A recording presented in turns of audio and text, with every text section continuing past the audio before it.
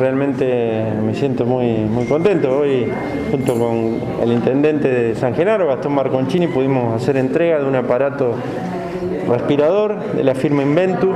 Este aparato que recientemente homologado por el ANMAT este, se está fabricando aquí en la provincia de Santa Fe, en Rosario, en combinación con la UNR, este, ese, convenio de asociación de conocimientos que logró que en tiempo récord se desarrollara un producto altamente necesitado en esta pandemia.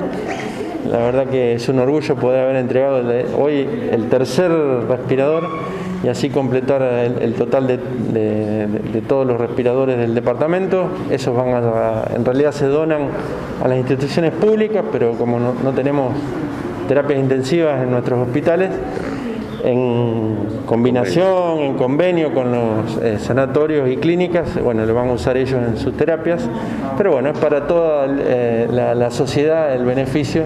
Ojalá no se tengan que usar, como ha expresado acá eh, Gastón, ojalá no se tengan que usar nunca, pero si lo necesitamos, bueno, el aparato está. Me parece muy bien. Bueno, señor Intendente, contento, me imagino, por la llegada de, este aparato, bueno, que va a cumplir sus funciones, ¿no? Como tiene que ser y esperando, ¿no? Que así no sea, ¿eh? Lamentablemente sabemos los casos que incluso gente de otras localidades ha tenido que derivar aquí a lo que es clínica regional privada y bueno, eh, sabemos el, punto, ¿no? Este, extremo de la utilización para pacientes que están complicados con COVID-19. Bueno, así es, Andrés, buenos días.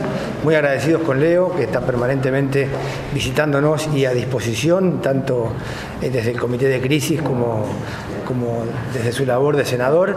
Eh, muy agradecido por, no solo por el valor económico, sino por lo que puede llegar a significar este aparato, ¿no? que puede salvar vidas. Muy agradecido. Sé que bueno, fue una gestión muy prolongada, muy complicada de parte del senador, pero finalmente logró entregar eh, en la ciudad, en las tres ciudades del del departamento San Jerónimo eh, un respirador. Me parece muy bien. Parecía que llegaba o se demoraba un poco la, autorización o homologación de lo que es la ANMAT, pero bueno, de acuerdo a pruebas, de acuerdo a ensayos previos, ya estaba todo listo, ¿no? Nosotros veníamos siguiendo de cerca todo el, trámite.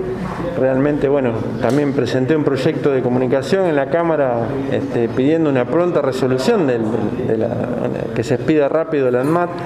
Finalmente se expidió durante la semana, así que bueno, este, la verdad que doblemente feliz, primero por entregarlo, después porque estamos frente a un aparato que ya se va a exportar y se está vendiendo a todas las provincias acá de, la Argentina, así que muy contento. Una pregunta como hombre de prensa, ¿qué costo o precio tiene este aparato? Este aparato el mercado? ronda los 600 mil pesos más IVA.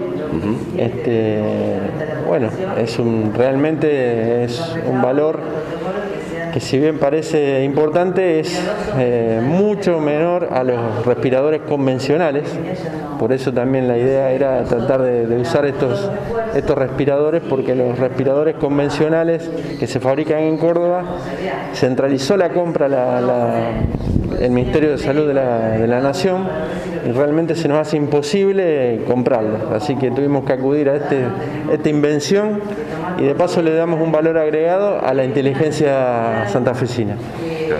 Eso es muy importante, ¿no? Buscando siempre el costo, el beneficio, pero las prestaciones de acuerdo al desarrollo, ¿no? Que ingenieros este, de la UNR también han podido lograr mediante este eh, respirador. Tiene todas las condiciones de un respirador, además tiene una interfaz por, de Wi-Fi que le puede avisar al médico de guardia por su celular que está, eh, si está sonando alguna alarma o si está algún parámetro ventilatorio está funcionando mal. Así que la verdad tiene todas esas novedades y cumple todas las normas internacionales que tiene que tener un respirador. Me parece muy bien.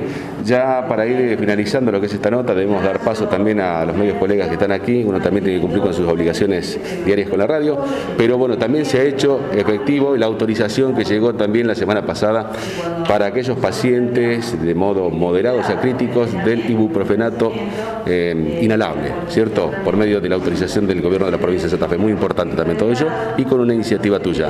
Eh, la verdad que la, idea surgió a partir de las experiencias en, en la provincia de Córdoba. Estaban usando un derivado del ibuprofeno, en realidad es el ibuprofenato sódico, una sal del ibuprofeno que es mucho más pequeña que el ibuprofeno, es mil veces más chiquita que el glóbulo rojo tiene la capacidad de entrar por la vía respiratoria, ahí ejerce dos funciones, una poderoso antiinflamante, como es el, ibuprofeno, y por otro lado es este, bactericida, porque el efecto del ibuprofeno rompe la membrana del coronavirus como si fuera el detergente en la mano.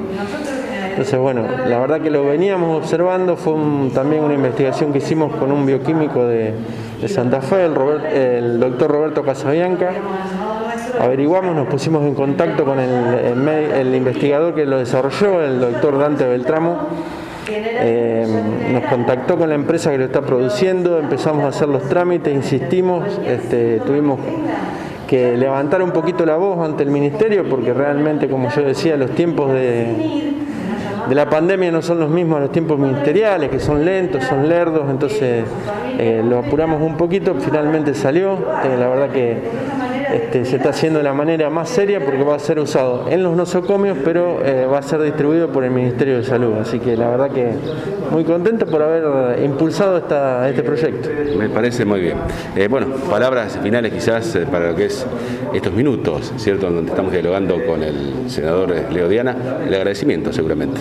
Por supuesto, eternamente agradecido con el senador y bueno, acaba de dar dos grandes noticias, no solamente la entrega de esto, sino la, finalmente la habilitación del ibuprofeno, este, que era una de las pocas provincias que todavía no lo había habilitado y bueno, es, un, creo que es una, un logro importante.